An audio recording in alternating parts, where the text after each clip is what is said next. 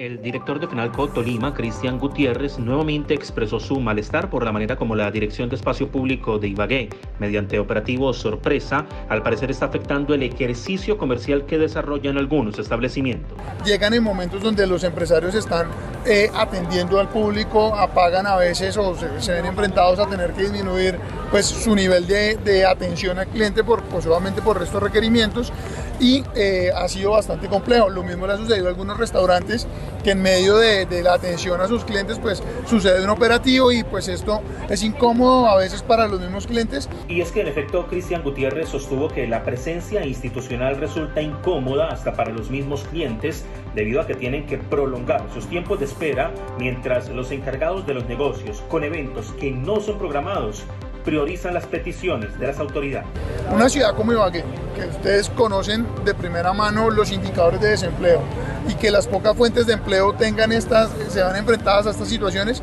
pues nos deja un muy mal mensaje.